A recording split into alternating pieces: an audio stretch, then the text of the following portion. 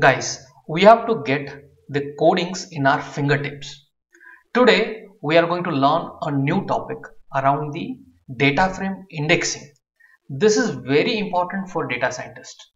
Using the .loc, what is .loc I'm going to talk in this video, you can fetch a specific record that you really need. Okay, so what are indexing in detail? Let's learn in this video. So let's get started.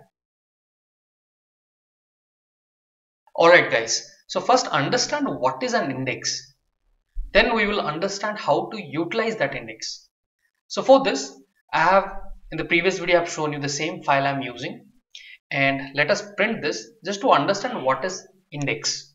So if you shift enter, you can see this is my actual data coming from the CSV file which has date, tmax, tmin, these are the columns now beside it, you see there is some index happening. That, that means it tells on the zeroth index you have this data.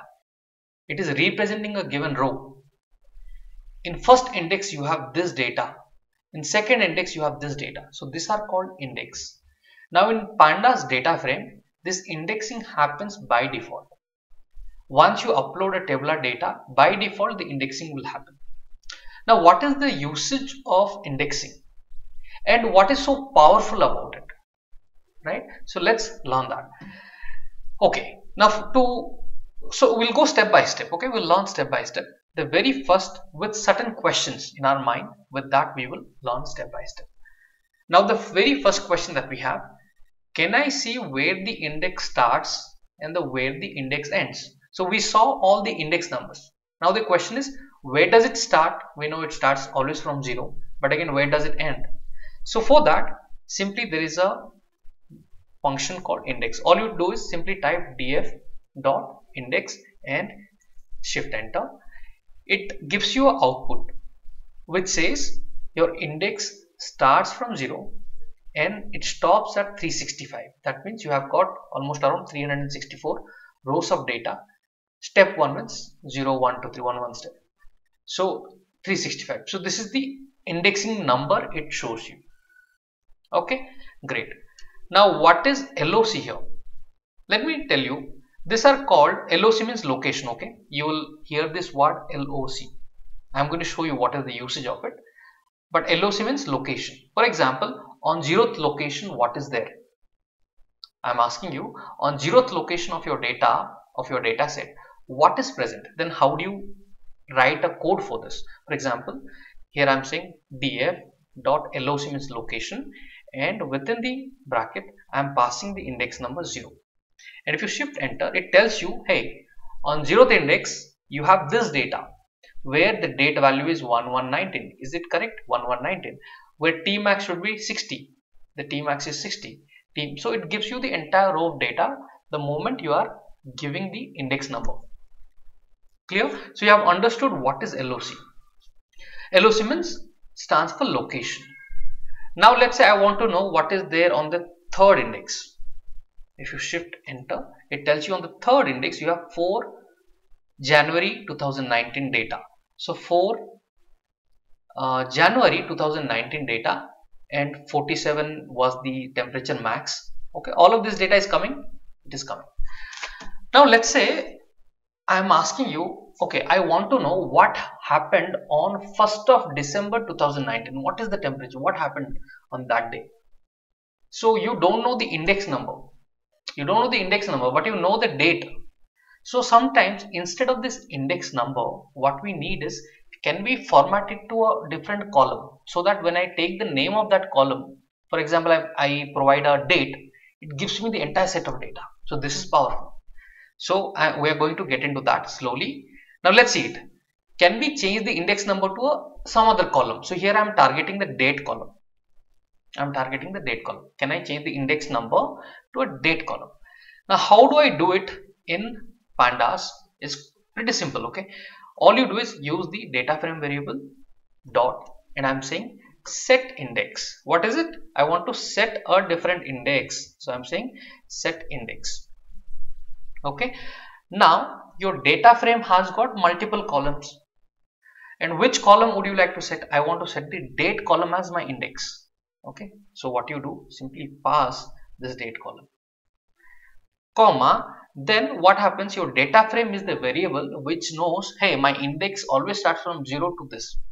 Now you are trying to give some other column as its index. I'll show you. Okay? Practically when you see this you will understand the real value of you know doing the indexing so here i'm setting the index to date and i'm saying in place is equals to true. Okay? T has to be capital. So now when i do this and I'm going to print df shift enter. Okay? Now the moment I print df what happened? The date is no more a column now. What happened?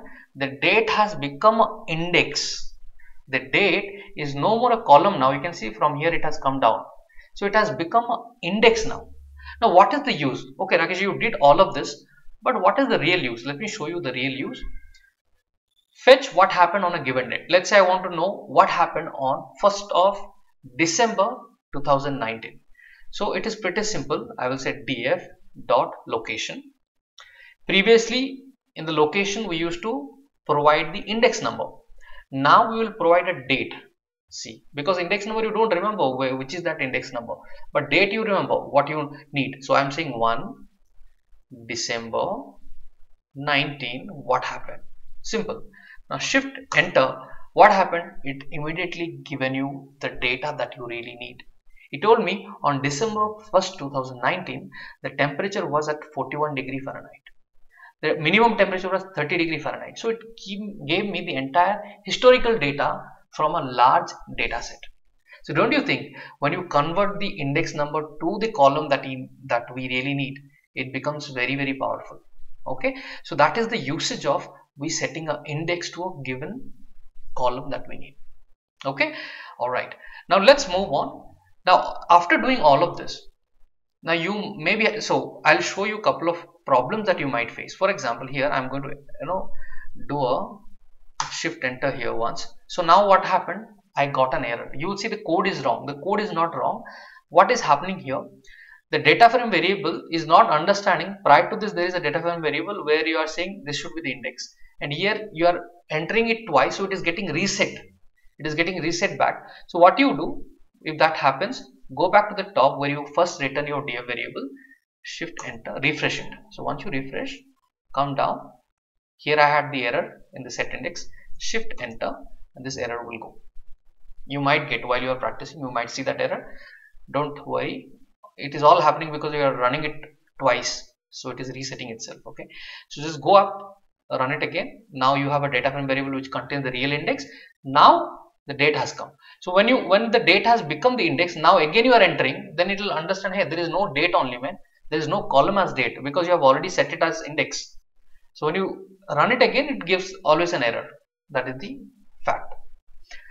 So here I would like to reset the DF back to original index. So there is a command for that. All you do is simply say reset underscore index. Okay and then same thing in place. What is the use of in place? Can anyone say me? What are the use of in place? Comment it. So the use of in place is the data frame variable actually contains its original data. Some modification has been done. You would like to replace you would like to reset the data frame but again the data frame itself is a variable. So i am saying where you would like to do it do it in the same variable. So in place same place okay? That is the meaning shift enter. Now if you print df it will give you the original set of data. Okay? So very powerful information that we have got today. So let's slowly move on and do comment if this video was were you able to understand this video completely? If yes simply type yes. I will love to read those comments. So let's move on to our next topic and continue our learning journey